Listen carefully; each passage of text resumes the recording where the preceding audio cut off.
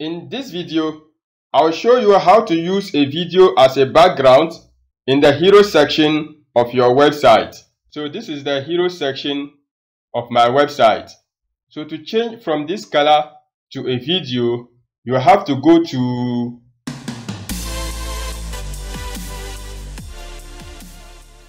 This is Sadiq here Dikupages Web, where I do web tutorials just like this one.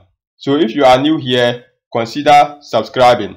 Now to use a video as a background for your hero section of your website, you need to go to the front page of your website, that is the home page.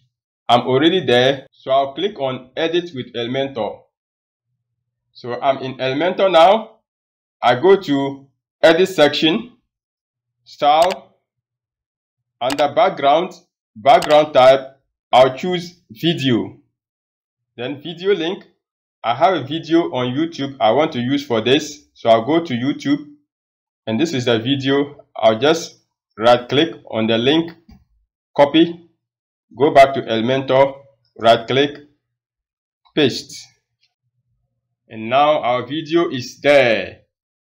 So here you can set the start time if you want so I'll say one second and then in here the end time 10 seconds you can give it whatever seconds you want depending upon how lengthy your video is so here you can say it should play once and then it will not play again but if play once is disabled it will continue to play over and over again when it starts from the first second to the 10th second.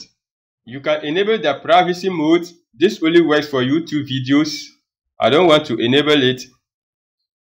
Now you can give it a fallback image. Just in case this video is not playing, then the image will show. So I want to do that. Click. Then I'll choose this image. Insert media. Take note, the image will not appear here. It's only when the video cannot be played. That is where the image will show. Background overlay. You can add a background overlay. I'm already using a background overlay here. You can change the color if you want, like that. You see that. But I need it to be my primary color in here. You can increase the opacity. You see that? And you can also reduce it. Now I think this is cool. Let's update preview okay. Now we are seeing the fallback image because it's still loading.